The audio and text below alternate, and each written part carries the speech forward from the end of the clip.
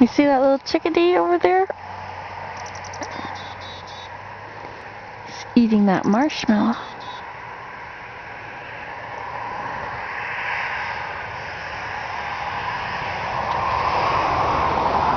Chickadees are so cute.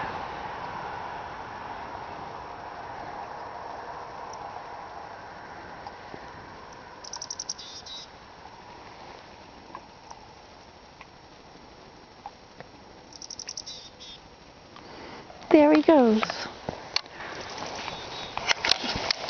This is Nancy today in my hammock, just watching the birds, relaxing. So nice to have the birds come by.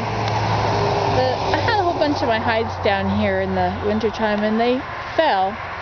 Fell into the snow, which then became water, which then froze them. That was back in January the fall. So finally, now that it's April 7th, I'm getting them out and drying them up. That's why they're all hanging on the poles. I don't just hang them there for fun. That's work. That's because they need to be there. See, I've got some of them out, but there's still a whole bunch over there that are still frozen in.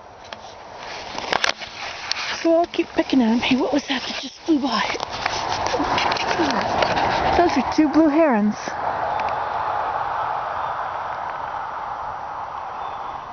They've come back. This is their stream. They live here all summer.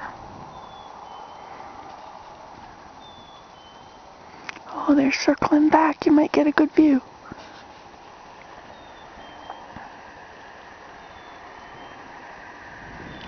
Oh, look, there's four of them. Wow.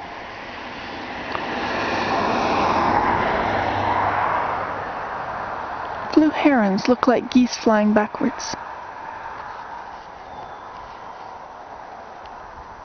Look at that. Five of them. Is that five or is one of them something else? Wow, what a thing to get on film. Hope this is taping. Five blue herons.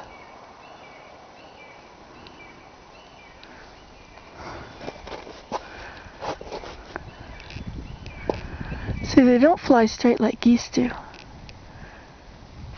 They're circling. Hey, I think there's another one off to the side. Joining them. Hope you can see this.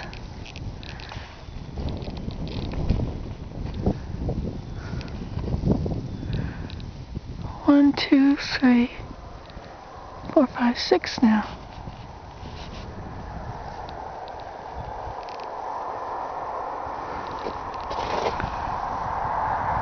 Oh, look at that. There's three more over there. They're over there. They're much further up. One, two, three. So they're migrating in a group.